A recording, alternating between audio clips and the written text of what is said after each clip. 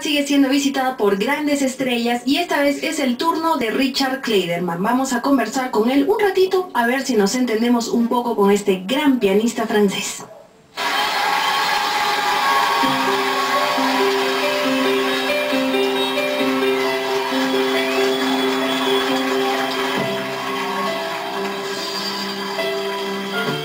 Señor Kleiderman, bienvenido a Arequipa, muchas gracias por estar aquí, es, su presencia es realmente algo muy importante para todos los arequipeños.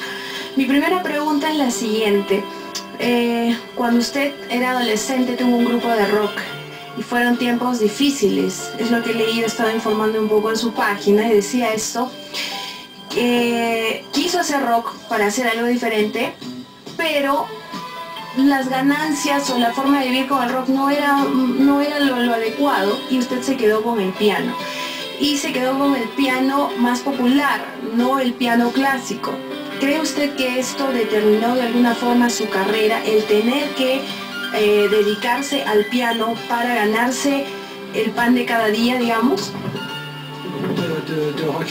Eh, al principio el grupo de rock era para efectivamente eh, ganar su, su pan, Y después se buscó y encontró este modo de piano y ya hizo su estilo propio, que es lo de hoy. Y él piensa que su música eh, llega directo al corazón y para él es una suerte eh, verdaderamente grandísima que tiene que esta música eh, guste en toda parte del mundo. Pero él está persuadido de que sí es una música que llega directo al corazón y que es muy emotiva.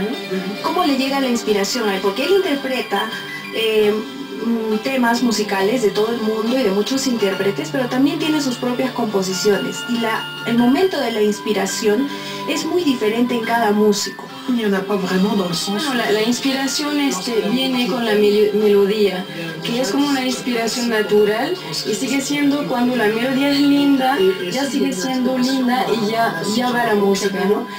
Pero también explica que los músicos que están atrás de todo eso lo ayudan a inspirarse.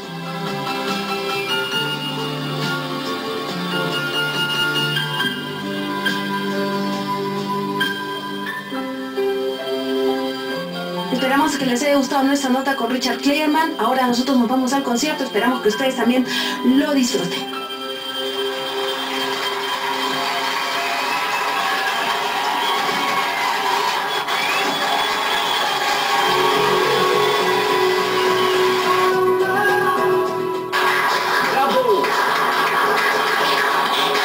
Clayderman Carcocheros cautivó con suerte a todos los asistentes a Cerro Juli.